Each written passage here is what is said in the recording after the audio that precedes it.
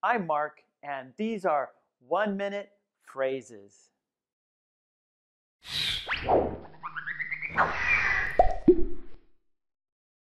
Hi, this is Mark, and this is English Conversation Practice. And today we are practicing a one minute phrase. Yes, we are. And today's phrase is no problem. No problem. This is video five from the series, so be sure to see all the videos in the series. Let's start. No problem. No problem.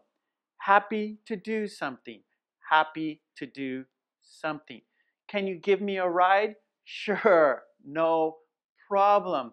Can you pass me the salt? Sure. No problem. Thanks for your help. Sure. No problem not bothered by something. Not bothered by something. No problem. Sorry, the baby is crying. Ah, no problem.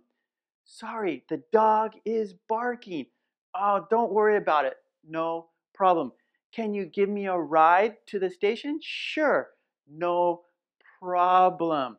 No problem. All right. You did it. Yes, we did it together. Good job.